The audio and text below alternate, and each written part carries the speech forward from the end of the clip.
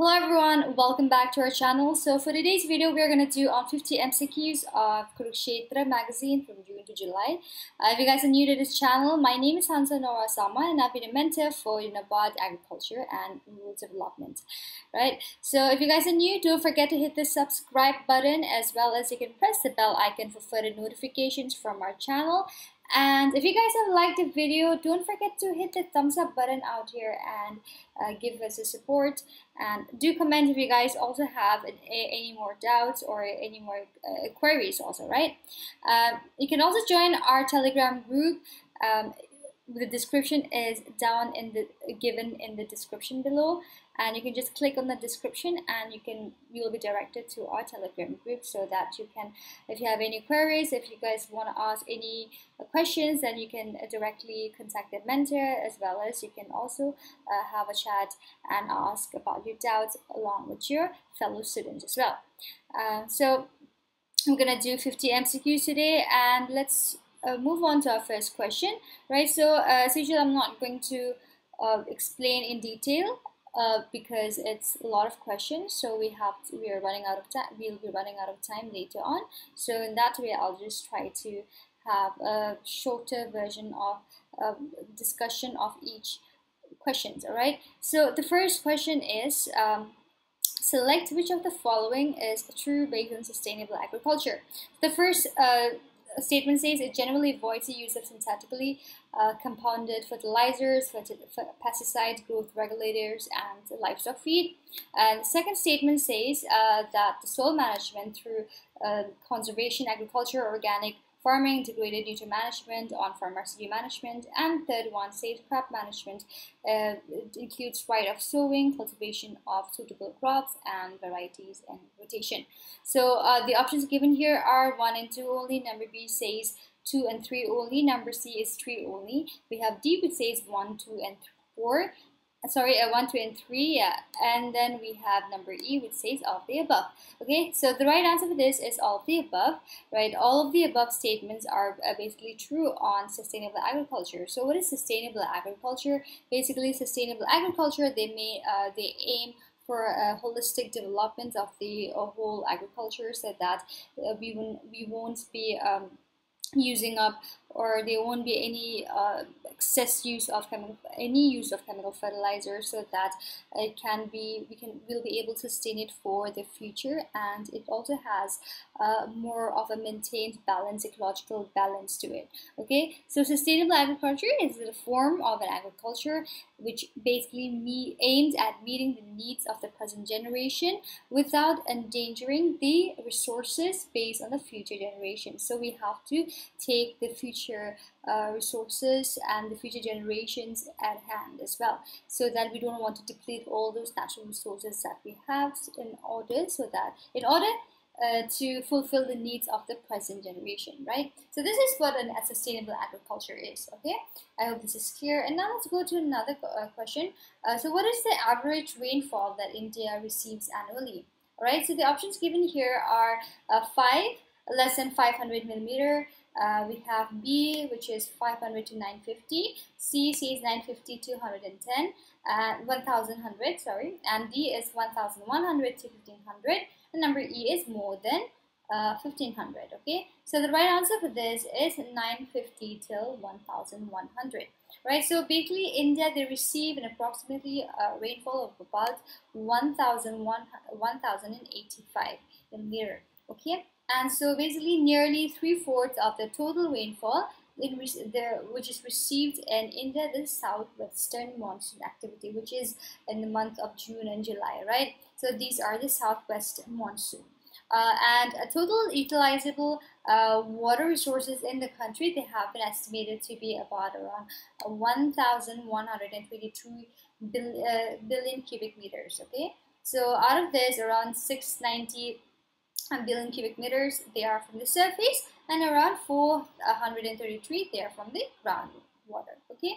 So these are some of the stats. Um, uh, so you can remember the annual rainfall of India as well and just a bit of this okay?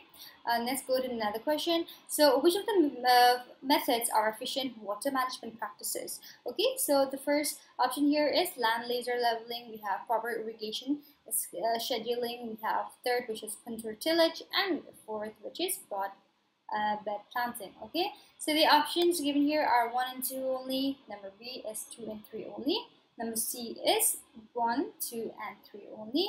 And number D is uh, 2 and 4 only. Okay, uh, so the right answer for this is all of the above.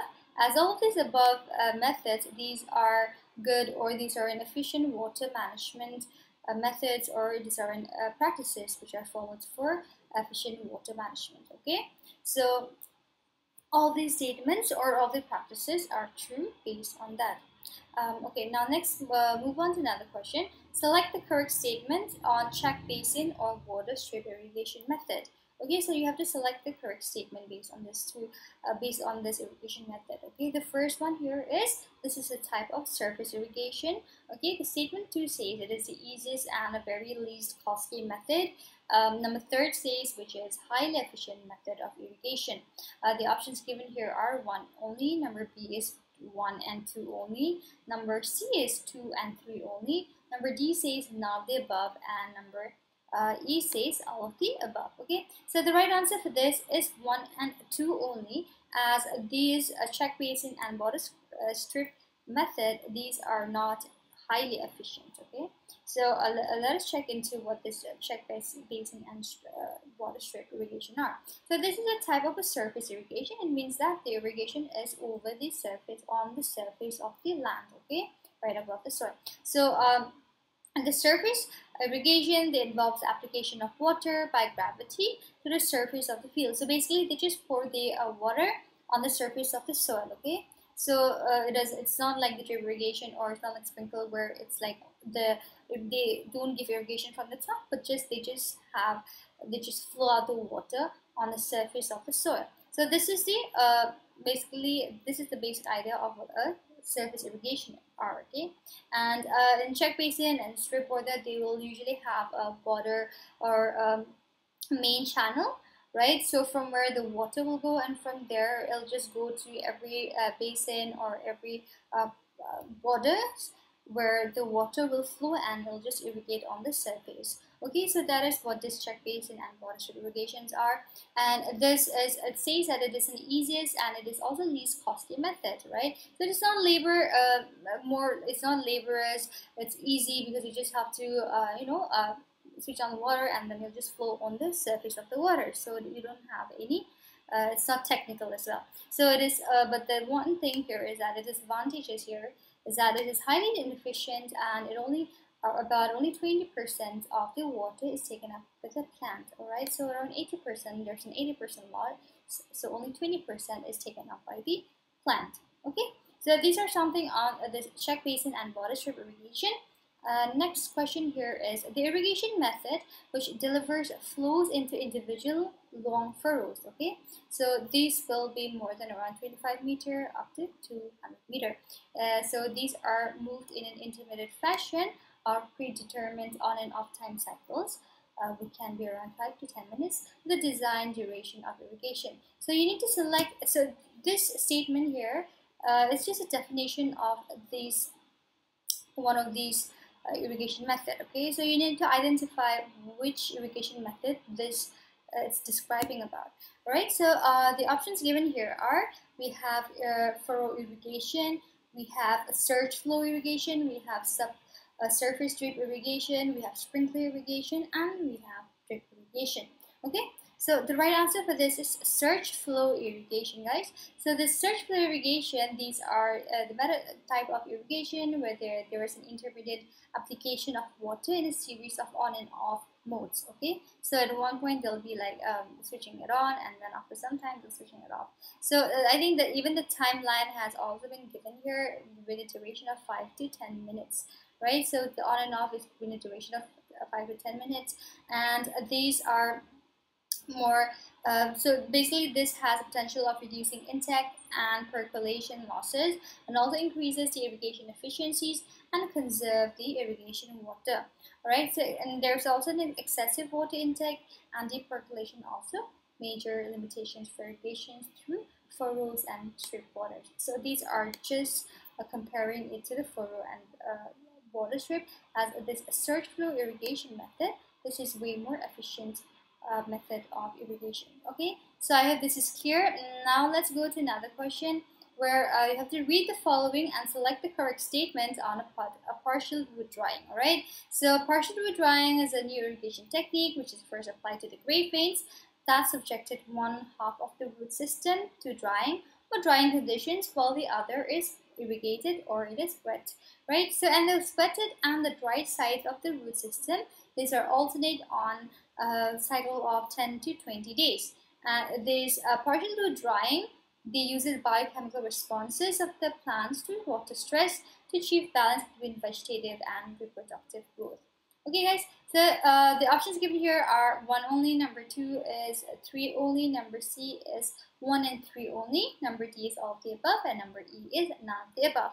Okay, so the right answer is all of the above as all of the above statements are true on this partial root irrigation method.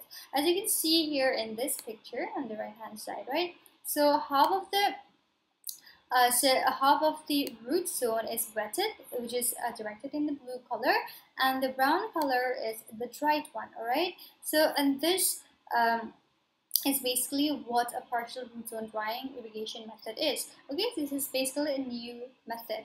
All right. So let's see why the statement number um, statement number which one is it? Statement number two was wrong. Right. So basically, the statement number two was wrong because it the system the or the alternate uh, root system uh, cycle for this root system is basically about 7 to 14 days. Not from 10 to 20 days, okay?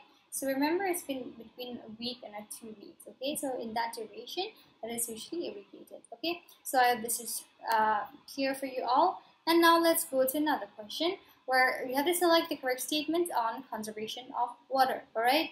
So the first thing here is that, so basically these are the uh, statements given here are the methods, alright? So you need to identify whether this statement along to this conservation tillage or the statement uh, to mulch is correct or you know wrong alright so uh, the first statement here is this conservation tillage includes zero tillage and retention of the crop residuals on the soil surface at planting okay? And number second statement says mulching with crop residues on the soil surface they uh, shades the soil and slows water overflow right? And number three is addition of clay or hydrophilic compound decreases the water retention capacity of the soil and controls deep percolation.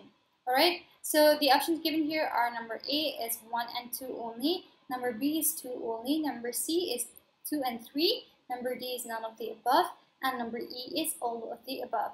Right, so the right answer for this is number A, which is 1 and 2 only.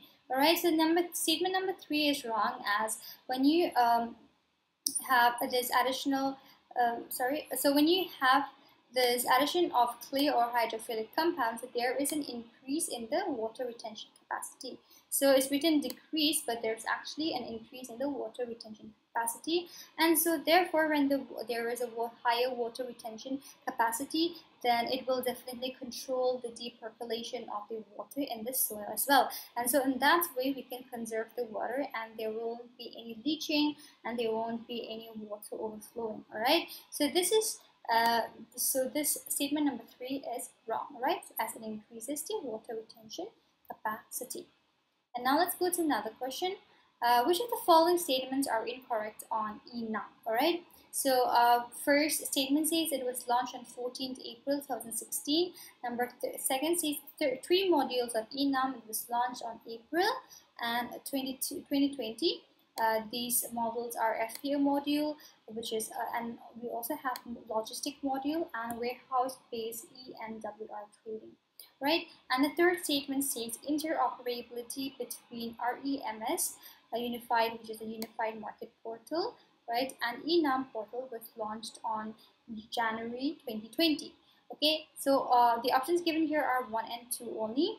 We have uh, B which says 2 only, number C is 3 only, number D is uh, number D is none of the above, and number E is all of the above. Right, so the right answer for this is number A, which is, uh, sorry, so we have to select the incorrect, right? So the incorrect statement here is 3 only as uh, it wasn't launched on January 2020, but it was actually launched on the May of 2020. So on May uh, 2020, interoperability between RAMS, which is a unified market portal, and ENAM portal, it was launched. Okay, so basically in this module, farmer and traders across areas of Karnataka and ENAM platform can conduct inter-platform trade to access more markets for trade using interoperability features and vice versa. Okay, so these are something on uh, ENAM, right? So these are the latest updates on ENAM. So this is very important questions can also come from here as well okay and guys if you guys learning for this for the first time don't forget to uh, you know keep a notebook, notebook by your side and so that as I'm explaining things as we're discussing the questions you'll be able to jot down the important points as well okay Alright, so let's go to another question. Select a correct statement, okay? So according to the Food and Agriculture Organization, globally irrigated agriculture represents about 20% of the total cultivated land but it only contributes to about 40% of the total food produced. Right, and second says presently the irrigation water accounts for about 80% of the available water.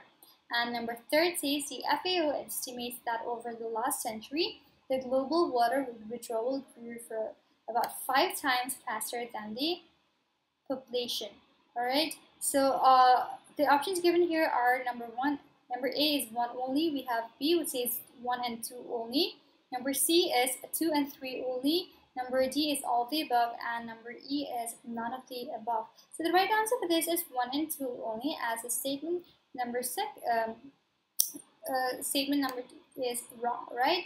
Uh, actually, so, so the statement actually here, the statement number 3 is wrong. So I made a mistake in the uh, in this section. Oh, sorry, it's correct. So statement number three is wrong. And so basically the FAO, they estimated that the over the last century, the global water withdrawal is actually not five times, but uh, uh 1.7 times faster than the population. Okay, and so this actually aggravates the concern of uh, the sustainable water use as the demand for agriculture and industrial and domestic uses they are also increasing. So you know the water consumption will definitely increase, and so there has been a scare or there has been a uh, concern over this water use right so statement number three is incorrect okay uh, another question here which of the following they are related to the smart agriculture okay so number A is autonomous swarms, number B is crop rotation, number C is pesticidal spray,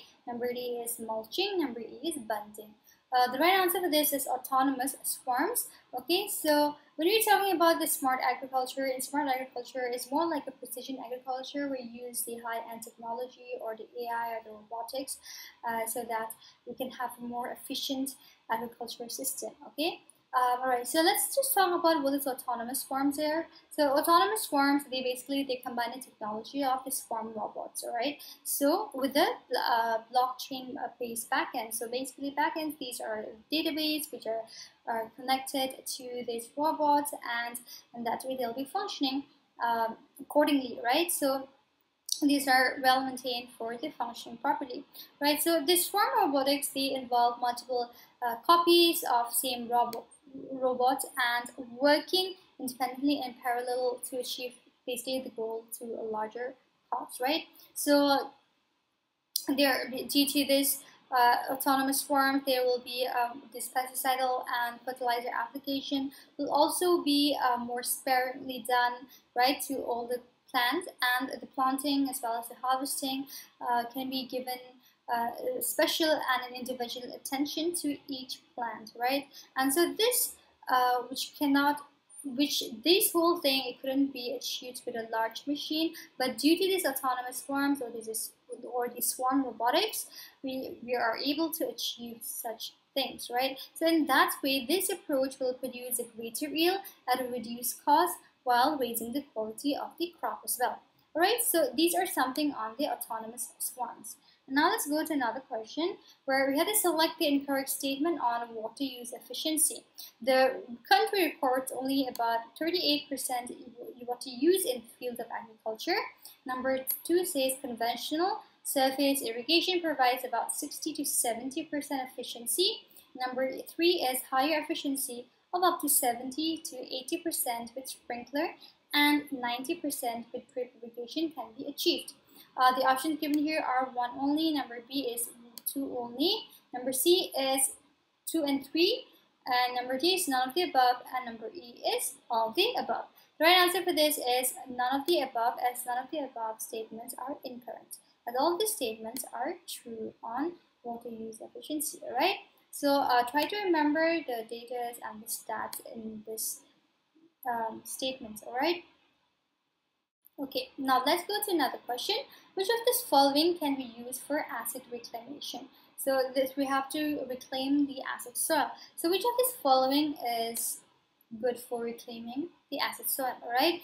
A is NaCl, we have sodium carbonate, we have lime, we have organic compost, and the last one is irrigation, right? So um, the right answer for this is lime so lime is actually used to reduce the uh, acidity in the soil. Okay, so lime application to the soil with, uh, with high pH favors more intensive and deep rooting, and there will be a better crop development. As also, it will contribute to improved soil aggregation, and thus it will produce some increase in the soil water availability as well. So this uh, reclamation of lime helps in soil reclamation and therefore it will uh, directly help in the soil water conservation and soil water availability to the plants as well. Right, so I have this is here and now let's go to another question. Uh, which of the following countries is the biggest user of groundwater? Okay, so you have to choose the, the country which is the bigger or the highest user of groundwater. The options are China, we have USA, we have India, UK and Philippines. Alright, so the right answer guys for this is uh, India.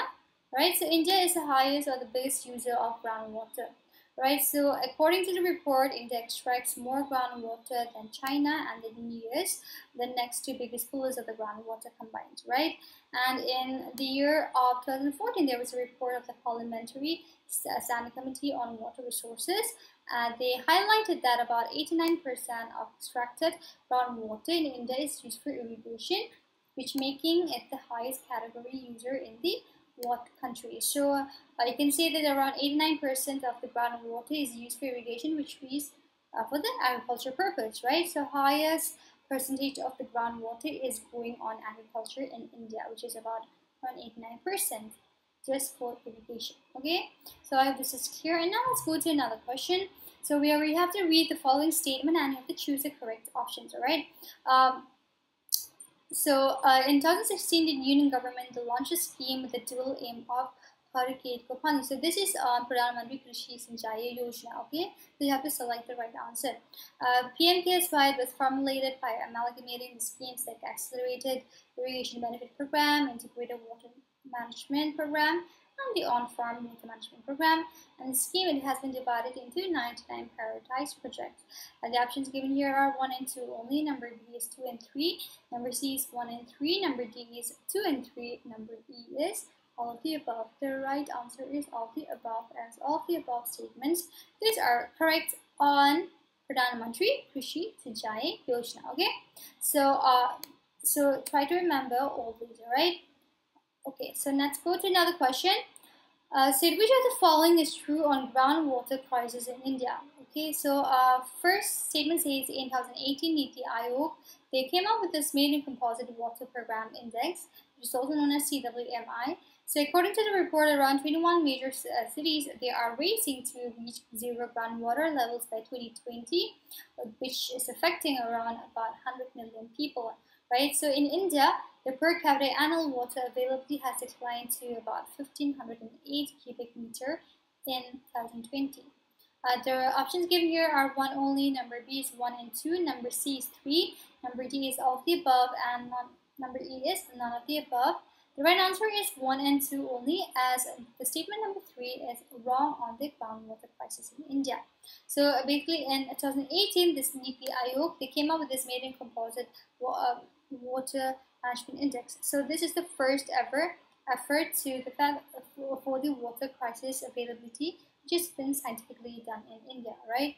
So according to the report, 21 major cities uh, they raised to reach about uh, zero groundwater levels by 2020, right, which will affect 100 million people. And basically, in India, the per capita annual water availability declined from 1508 cubic meter in 2014. So it is estimated to decline further by about 1465 cubic meter by 2025 and about 1235 cubic meter by 2050 all right? So these are some options. And now let's go to another question. As per world bank report on groundwater how much percentage of the water is used for agriculture or used in agriculture okay so uh, the options given here are number A is 50%, number B is 65%, number C is 80%, number D is 90%, number E is 70%.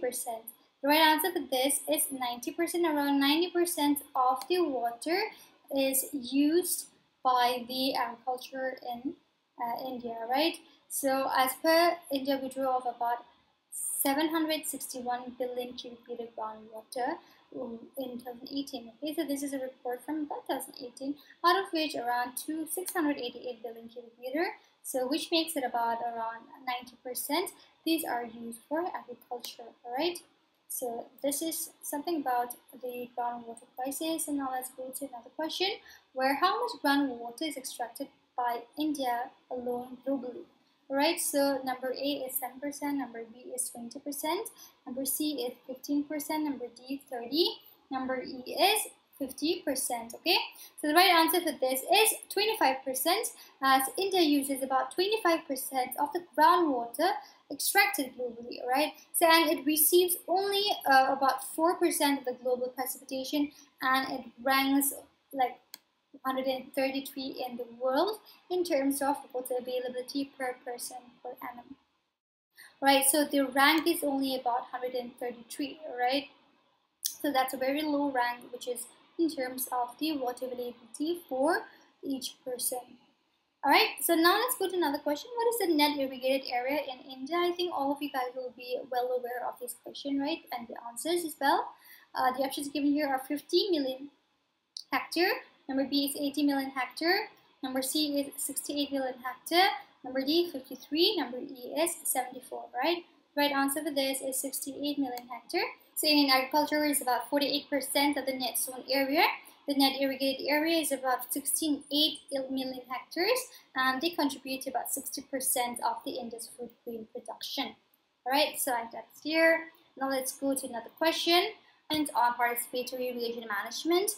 And the first one is uncontrolled water delivery, tail and water deprivation, seepage loss, siltation, waterlogging, and soil salinity are the problems in irrigation in India.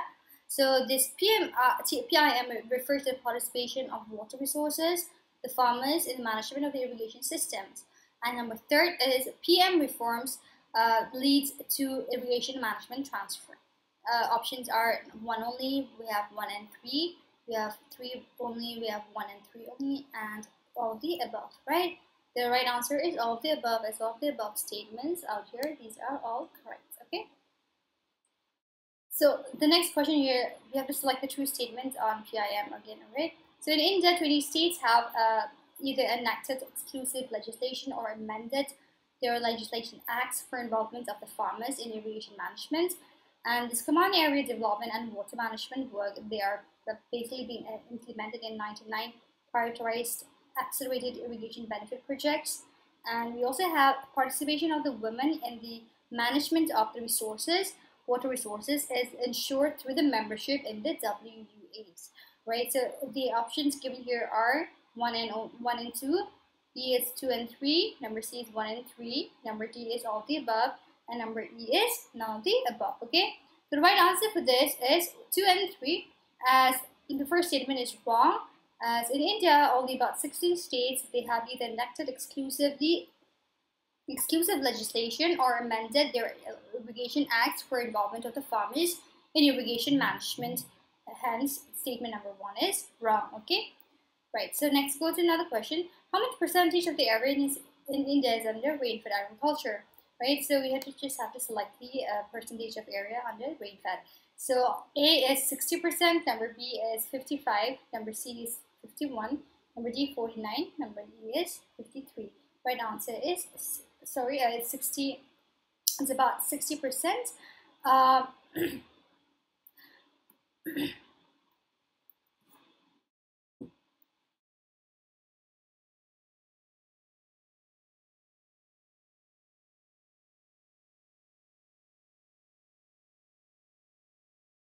So the right answer is 51%. Okay. About around 80% of the current water use is drawn by agriculture and irrigated accounts for about 49% of the 140 million of the agricultural land in India. And the remaining 51.2% is rain-fed but accounts for nearly about 40% of the country's total food production. Okay? And another one here is when will Jal Shakti Abhiyan launched? Um, so the options given here are 2016, number B is 2019, number C is 2018, number D is 2015, number E is 2017. Right, so right answer for this is 2019.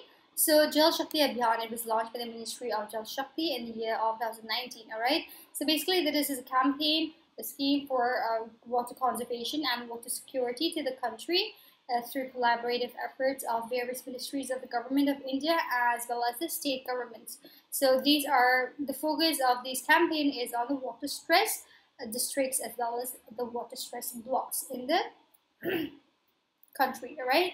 So these are something about Jal Shakti Abhiyan and now let's move on to another question where the Prime Minister appealed to all the states to generate maximum community participation for Jal Jeevan Mission in the form of Jan Andolan to achieve the target of functional household tap connection by which of the following year, right? So we have to select the year, all right?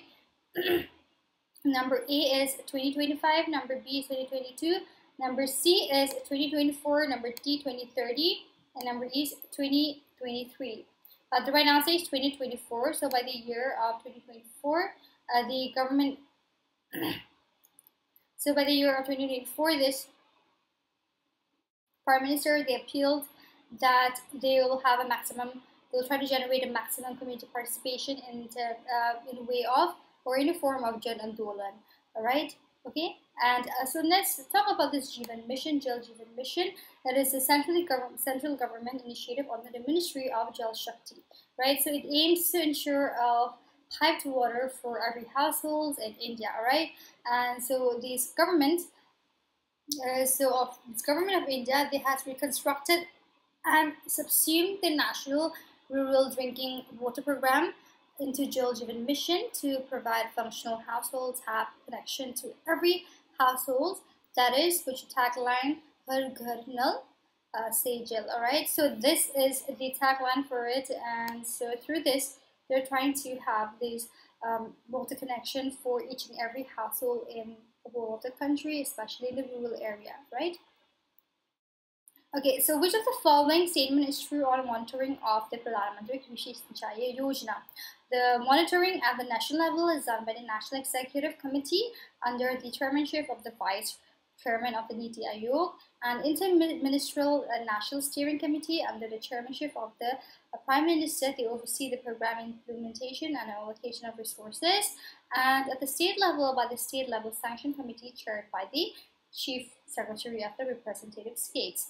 Um, number statement uh, options are one and two. B is two and three. Number C is three only. Number D is one and three, and number E is all of the above. Okay. So the statement uh, number three is the only correct statement out here. And now let's just check out why all the, the number one and number two statements are wrong. So basically at the national level, so the international, uh, the Interministerial National Steering Committee, which is under the prime, uh, chairmanship of the Prime Minister, they, they will be they are uh, basically working They'll be working at the national level okay? But if it's under uh, for the implementation as well as for the allocation of the resources then it is under the national executive committee which is under this Niti right? And at the state level by the state that is done by the state's uh, level sanctioning committee which is chaired by this chief secretary right so these are the monitor or the um, monitoring group or the parties for this scheme all right so I hope that's clear. And now let's go to another question where when was MNREGA first initiated? Number A is 2006, number B 2005, number C 2007, number D 2010, and number E is 2004. Okay, so this is a quite easy question. So the right answer for this is 2005. So it is initiated in September of 2005.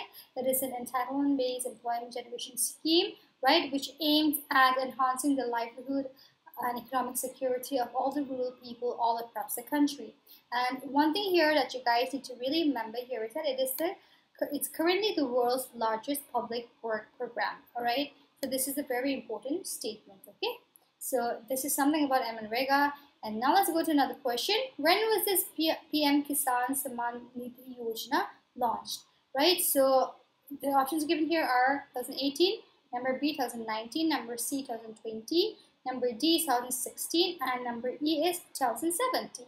So the right answer for this guys is uh, February 24, 2019. Okay, so in the year of 2019, this PM Kisan was launched. So basically, this is a centrally uh, central sector scheme so 100% will be coming from the government of India, from central, right? And it's implemented by the Ministry of Agriculture and Farmers Welfare. So this PM Kisan is actually first implemented in uh, by the government of Telangana as this Rythu Bandhu scheme, right? So after that, you know, they made it uh, they applied it all over India and became PM Kisan scheme. And under this, all the small and the marginal farmers, they will be provided an income support of about 6000 per year in three installments, which will be deposited directly to their bank accounts. So they'll be getting a fixed um, deposit or in or in, uh, or income support of about 6000 per year and which will be given to them in three installments okay? So which will be in a three times right? In a uh, year uh, right, so I hope this is clear. And now let's go to another question where rural India constitutes over how much percentage of the India's population.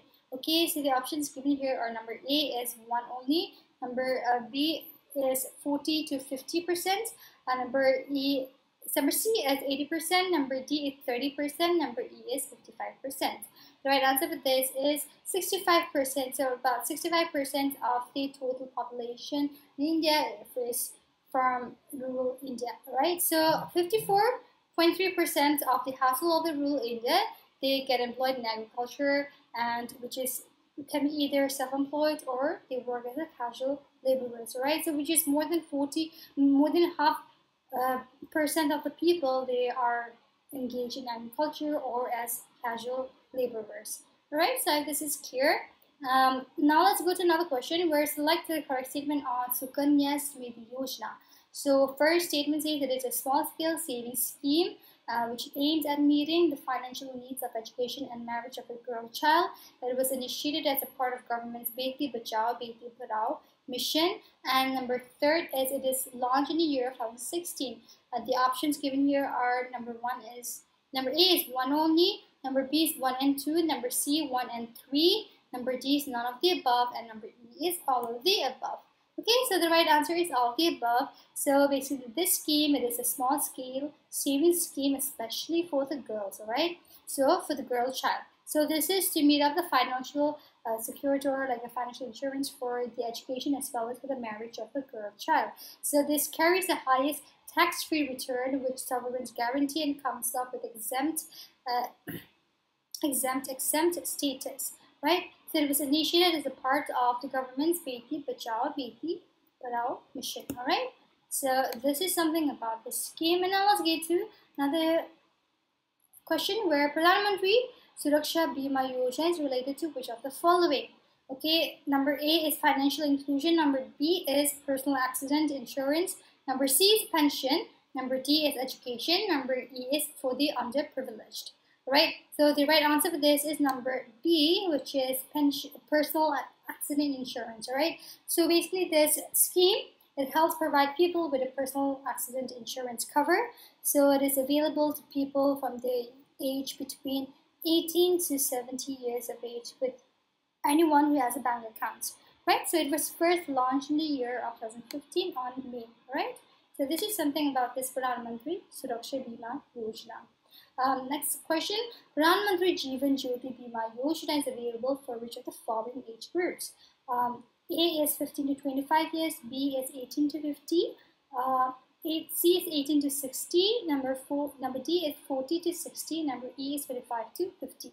The right answer for this is uh, 18 to 50 years of age. So this Pradhan Mantri uh, Jeevan Jyoti Bima Yojana is a government scheme, so for life, this is a government life insurance scheme, right? So which is available for the group of people or the age group between 18 to 50 years of age. And the risk coverage under this scheme is for two lives in case of death of the insured due to any reason, all right? So these are something on this Pradhan Jal Jeevan, sorry, Pradhan Jeevan Jyoti Bima Yojana, all right? Um, Let's go to another question. So we have to state which of the following is true in the social security. Okay, so first state says insurance and pensions are a form of social security measures. Number three is social security can indirectly influence the domestic demand and facilitate growth of the economy. And the third one says social security in India is critical. Options given here are one, Number B is 1 and 2. Number C is 2 and 3. Number D is none of the above. And number E is all of the above. Right? So, right, the all of the above statements are true. So now let us look at what this social security is. So social security, it is basically defined as a provision of protection for individuals as well as for the households, which ensure uh, their health and income, especially in case of age, employment, sickness, invalidity, work, anything related to all the social matters, right? So this is what the social security is. And basically, the social security, it helps uh, in reduction of the poverty and inequality. And so therefore, it will also help in increasing of the inclusive growth as well. Um, this social security, uh, it also affects the growth of the economy by influencing the domestic demand and there the workforce with the higher social security could also contribute to a higher growth and which in turn will definitely help in the demand of the economy right and so this uh, basically unlike these developed countries the state the India it, it is more critical in India as it does not have a more automated economic stabilizers such as a universal we don't have a universal health coverage or we don't have an unemployment scheme as well. So in such scenario this social security will is actually very uh, critical and therefore it applies in India as well right? So these are something on the social security right I hope this is clear. And well guys that's all for today. I hope you guys have enjoyed this session with me. And if you guys have liked the session don't forget to hit the thumbs up button. And you can also press the bell icon for further notifications from our channel to get more updated um, notices on exams as well. And you can also have try out our telegram group. You can join the group. The description will be given in the uh, description or the link is given in the description below right? So and if you guys have any more doubts or if you guys have any more queries don't forget to hit it uh, drop it in the comment section. Uh, I will reply to your doubts and queries as well. And we'll be meeting for the next session with uh, another session for Yojana magazine. We'll try to solve 50 questions as usual. And that's all for today guys. Thank you so much and I hope you guys have a great day